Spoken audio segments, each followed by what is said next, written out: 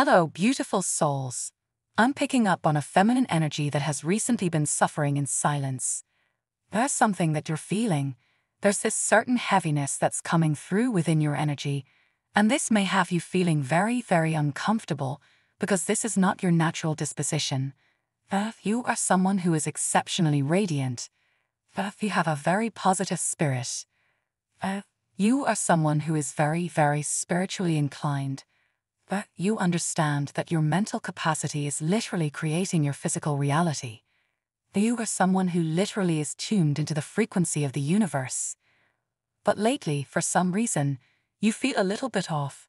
You feel like you're going through something, and you really don't understand, or you really don't even have the tools to kind of put this into words, to translate what it is that your soul is trying to translate at this time.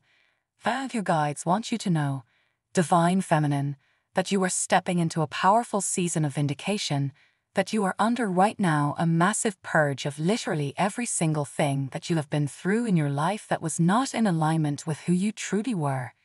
And you're also being guided to sit back, look at every single thing that you have encountered, and to actually thank those people that have tried to harm you, those people that have played a part in your demise, the people that wish bad on you. Your guides want you to know that they have absolutely no idea who you are. You're absolutely aligning with this energy of divine prosperity simply because of who you are, simply because of your capacity to love and to navigate life in such a way that is in alignment with divine principle. Okay, there are many, many times where you could have returned energy, and instead of that, you went deep within, you said a prayer, you cleansed your energy, Okay, you've tried so hard to navigate and to live your life in a certain way, and this is really, really working for your benefit. Thus, we're really stepping into this new energy, really purging and leaving behind the past in a major, major way. So, for a lot of you, you have been under a lot of cyclic themes that really had nothing to do with you.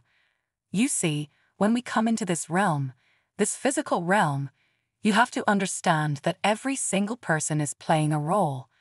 There will be people that you align with that are here to help you navigate this journey, that are here to shed light on the dark places, that are here to ultimately guide you and hold your hand and lead you to your destiny, your purpose, your birthright.